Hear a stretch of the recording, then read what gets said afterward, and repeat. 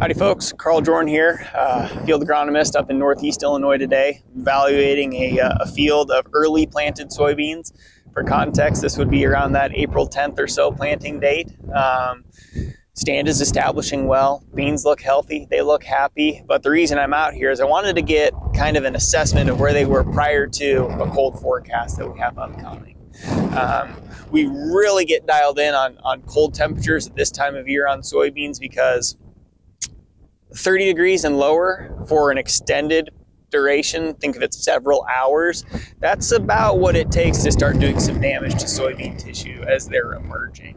Um, the position in which the beans are in is going to say a lot about how uh, resilient they are to that that impending forecast and those conditions. So that's why I'm out here just to get an eye on what they look like. I'll show you what I think looks good and what gives me pause. Um, but wanted to talk through a little bit more about the idea of early planted soybeans, right? We all understand that the earlier soybeans are planted, the more quickly they will reach flowering.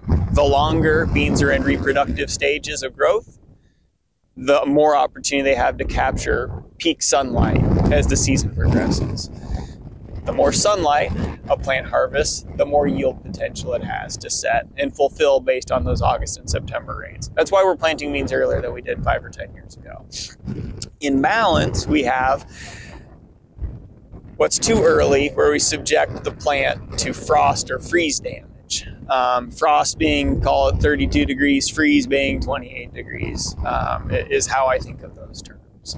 So those are the things that we have in balance here. The reason why it's important on beans and not on corn, in beans, this, the growing point is above the ground. Um, so I will show you what we're looking at in terms of growing points. And again, I'll, I'll kind of give you a look at, at, which, which plants I like and which ones I'm not, not so sure are going to make it, um, depending on uh, how this forecast comes through. As it comes to next steps, don't look at it the morning after everything's going to just look cold, but it'll probably look fine. Those soybeans will not begin to wilt and kind of damp off if they are dying until a handful of days later. So give yourself five days to return to the field and, and truly assess. At that point, we should see new growth on the beans that, that are still with us, and we will see those laid over that aren't there.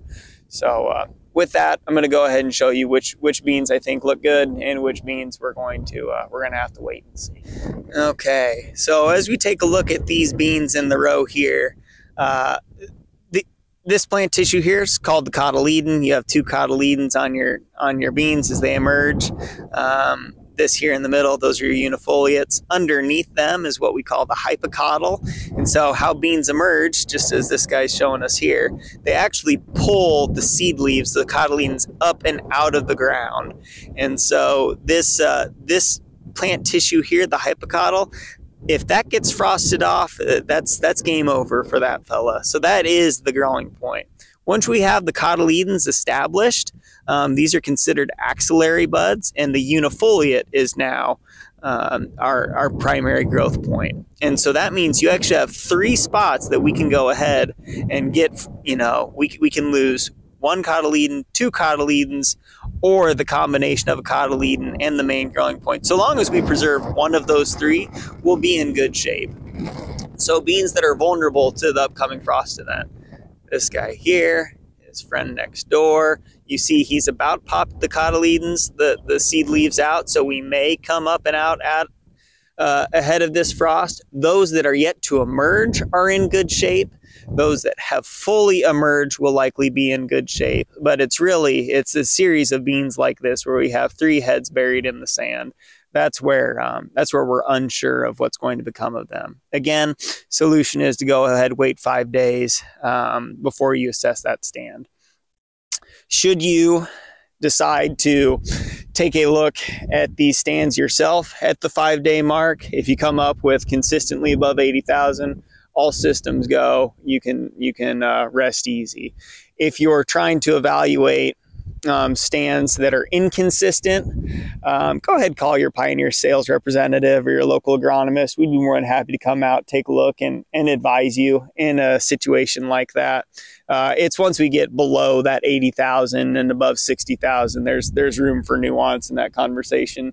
my opinion would be if you're anywhere below 60,000, it's a slam dunk. We ought to we ought to thicken those those beans up. So that's uh that's what I have for you here on this uh, on this subject. So um, should you have any questions or concerns, you just go ahead reach out. Otherwise, follow along on X at CJoern or on Facebook at CJoern Agronomy, and we will see you down the road. That concludes this Pioneer Agronomy video podcast. Visit our page on pioneer.com and follow us on Twitter and Facebook for more agronomy insights.